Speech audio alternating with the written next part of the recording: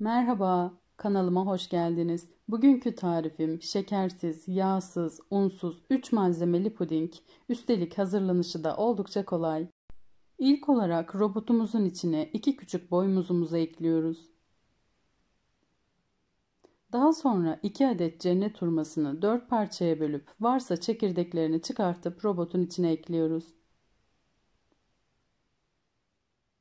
Kabuklarıyla birlikte ekledim. Dilerseniz kabuklarını soyabilirsiniz. Son olarak bir yemek kaşığı dolusu kakao ekliyoruz. Ve bu üç malzemeyi robottan iyice geçiriyoruz. Dilerseniz Hindistan cevizi yağı da ekleyebilirsiniz.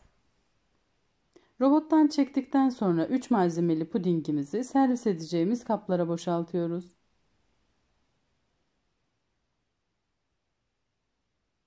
Toplamda 4 adet çıktı. Üzerlerini streç filmle kapatıp 2 saat kadar soğumaya bırakıyoruz.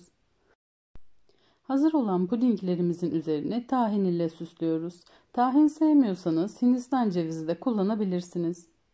Dolapta dinlendikten sonra oldukça güzel bir kıvam alacak pudingleriniz. Mutlaka deneyin. Videomu beğendiyseniz beğen butonuna basmayı, yeni tariflerimden haberdar olmak için kanalıma abone olup zili açmayı unutmayın. Ayrıca açıklama kısmına eklediğim videolara da mutlaka göz atın.